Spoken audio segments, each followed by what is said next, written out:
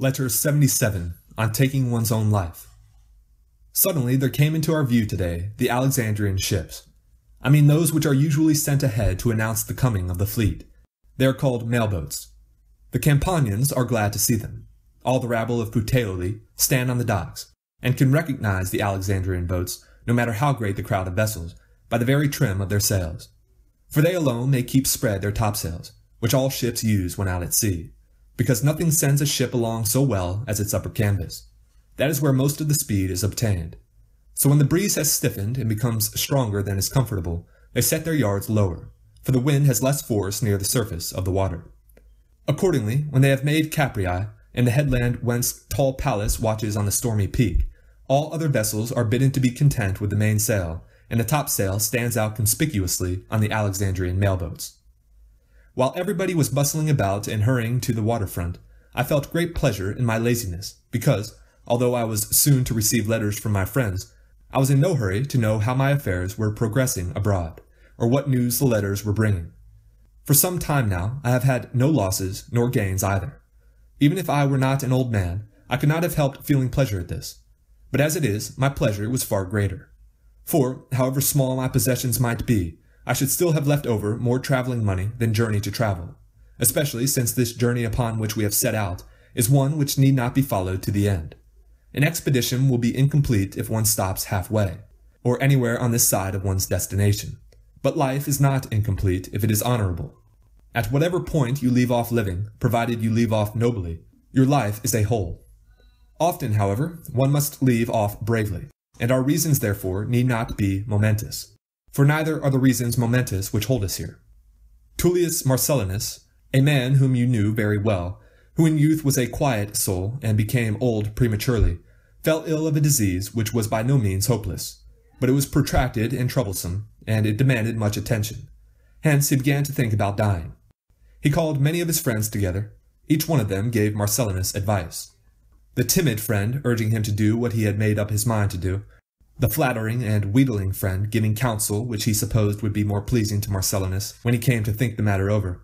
But our stoic friend, a rare man, and, to praise him in language which he deserves, a man of courage and vigor, admonished him best of all, as it seems to me.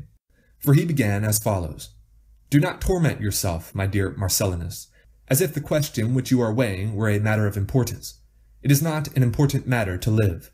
All your slaves live, and so do all animals but it is important to die honorably, sensibly, bravely.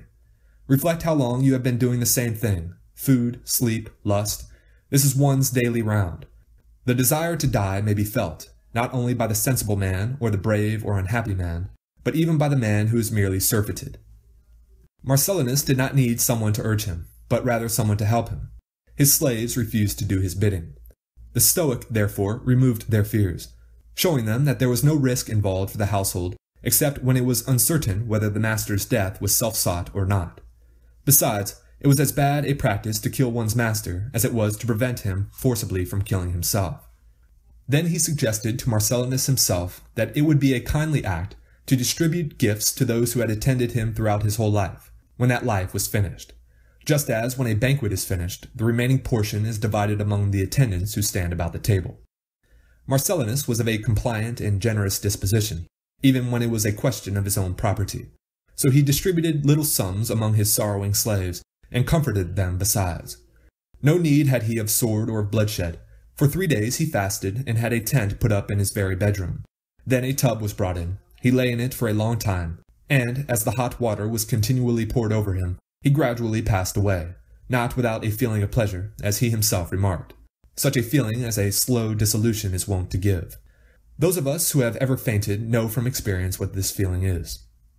This little anecdote into which I have digressed will not be displeasing to you, for you will see that your friend departed neither with difficulty nor with suffering. Though he committed suicide, yet he withdrew most gently, gliding out of life. The anecdote may also be of some use, for often a crisis demands just such examples. There are times when we ought to die and are unwilling. Sometimes we die and are unwilling. No one is so ignorant as not to know that we must at some time die. Nevertheless, when one draws near death, one turns to flight, trembles, and laments. Would you not think him an utter fool who wept because he was not alive a thousand years ago? And is he not just as much of a fool, who weeps because he will not be alive a thousand years from now? It is all the same.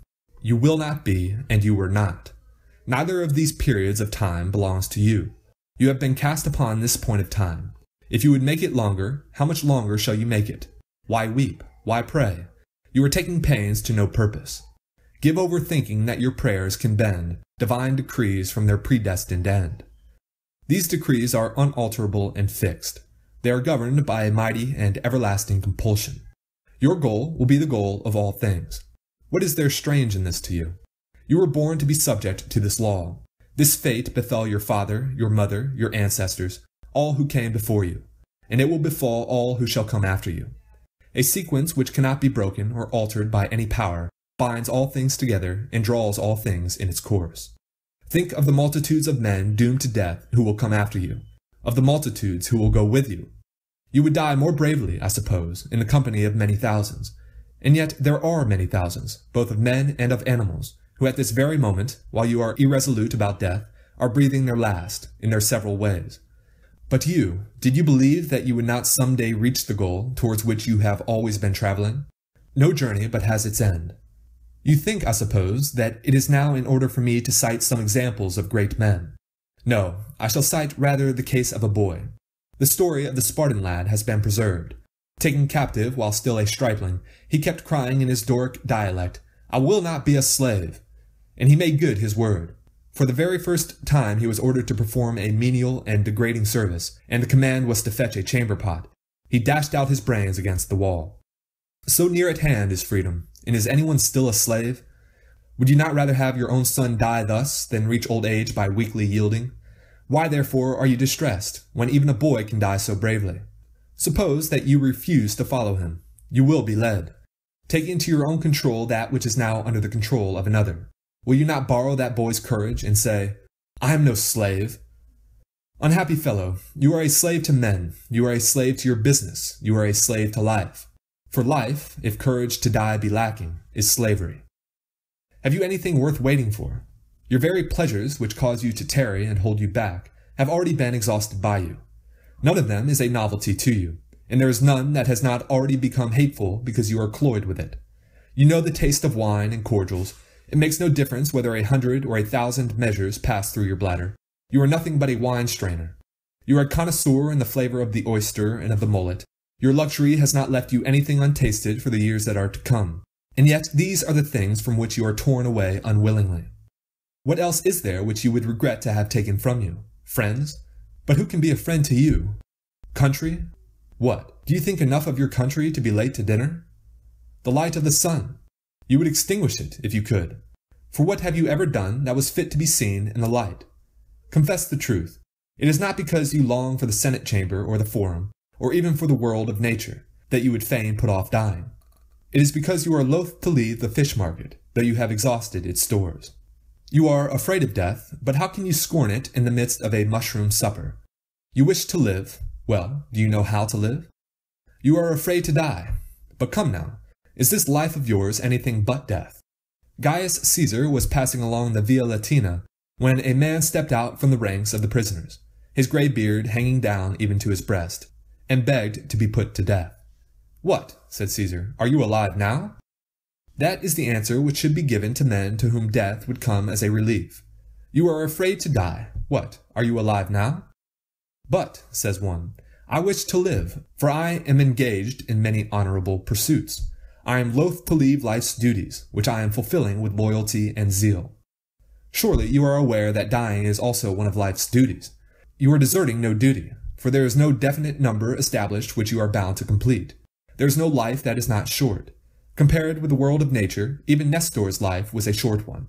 Or Satia's, the woman who bade carve on her tombstone that she had lived ninety and nine years.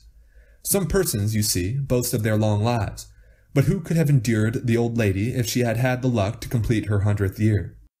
It is with life as it is with a play. It matters not how long the action is spun out, but how good the acting is. It makes no difference at what point you stop. Stop whenever you choose. Only see to it that the closing period is well turned. Farewell.